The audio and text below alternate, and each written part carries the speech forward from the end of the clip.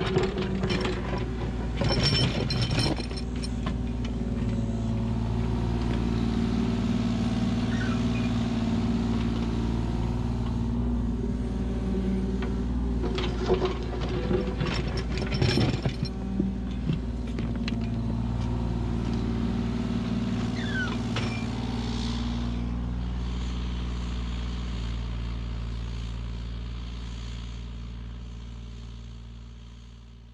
Hey, it's Brock here with Rock Hill Farms, and we're on day two with the Kubota excavator.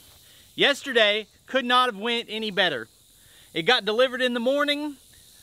Joe, the operator, showed up to run it, and we dug out two enormous stumps. One of them was really pretty crazy because it was grafted onto a rock about 10 feet long and 5 feet wide. If you didn't watch the stump removal video, I'll link to that at the end if you want to check it out. But then after that, we scraped off all the topsoil and moved it down to this end so that we can use it for grading out around the building when we're done. Today the goal is to see how far we can get on actually setting grade and getting this ready for the building. What we're putting in is a 30 foot by 60 foot Quonset hut. And from the low corner down here, we're a foot high here, four foot high in the back corner, and five foot high down here. We're gonna take the dirt from the high corner, move it to the low corner, and get that all leveled out. Then I've got 100 tons of rock on the way, and we'll be putting a rock bed on it. We also have to dig a foundation on each side because we're gonna put a two foot wall for the building to set on. So, a lot of work to be done, but I've got a good operator, a good machine, and then I'll be on a tractor, maybe help a little bit. When Joe got here to start the first morning, I told him that this is his show and we're going to do whatever he thinks is the best way to get the job done. So, basically, today what he did was dig down until he was through the rock layer and set it behind him. And then I just tried to move those spoils out of the way and off this pad as efficiently as I could without getting in his way. And he just methodically worked his way across the entire area like this, removing all that rocky soil, trying to get down to the good stuff.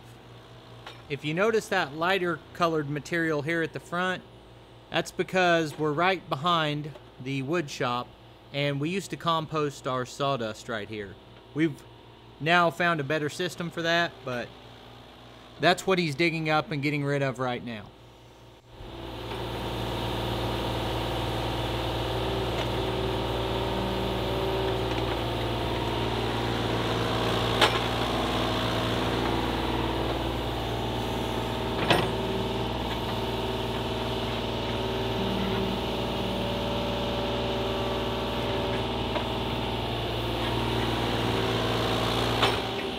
That top layer of dirt is full of big rocks that are hard to grade out, but about a foot down you hit some good shale and, and clay mixture kind of that is gonna make a good surface to spread and grade out.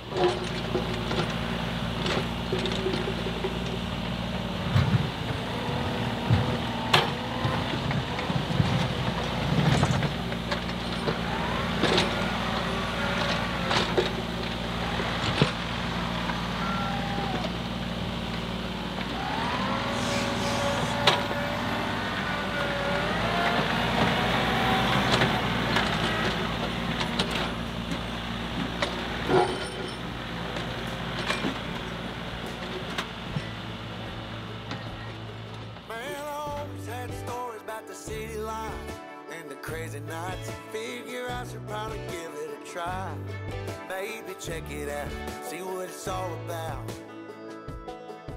But the traffic was fast and the money was slow. The people I met you never get to know. I kinda miss this place I used to live back home. Cause up here it's breakneck, paycheck, rat race, what's next? I'm tired of feeling like a small think I'll go back where I came from, where everybody knows my name. My friends are still the same. I guess the slow life hit me just right, like a bonfire on a cold night. Hell, and you can keep your nine to five. Happy with the simple life.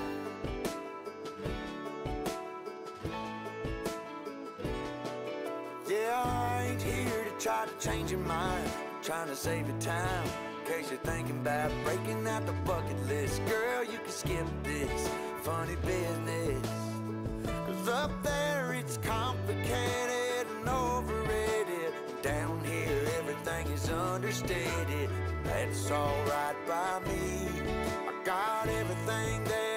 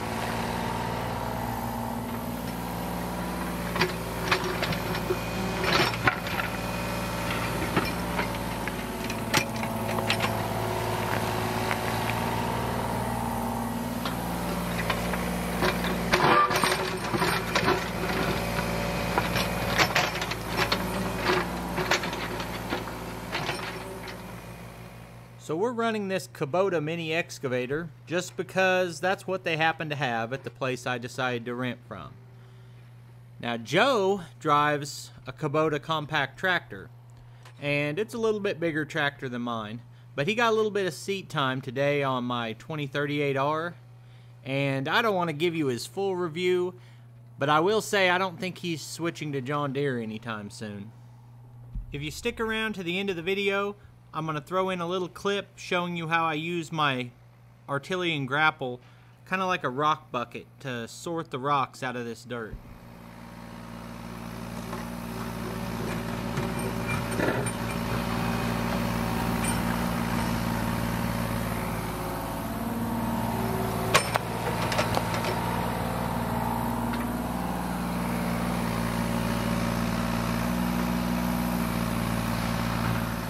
I think a lot of people, myself included, tend to underestimate the skill and expertise that goes into a job like this. First, you have to understand exactly what needs done, which I did not understand when we started this job, that there are distinct levels of soil here. You've got the topsoil first that we scraped off and set to the side. Then you have a rocky layer that's, you can't grade that rock out. So if you just started on this end, dug it all out and moved it over there, then you'd have a mix of the topsoil and the rocks and you wouldn't be able to grade it. What I learned from Joe is if you remove the topsoil and separate it out, then you take that rocky layer and get it out of the way, you still have the slope you started with. But now the ground you're working with is workable. So, seems like it should be obvious or common knowledge, but I wouldn't have approached it that way if I was doing this by myself.